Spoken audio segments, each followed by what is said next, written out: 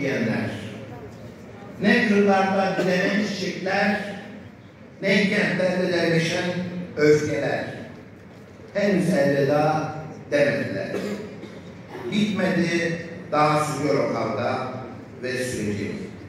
Yeryüzü aşkın yüzü olacak. Hepinize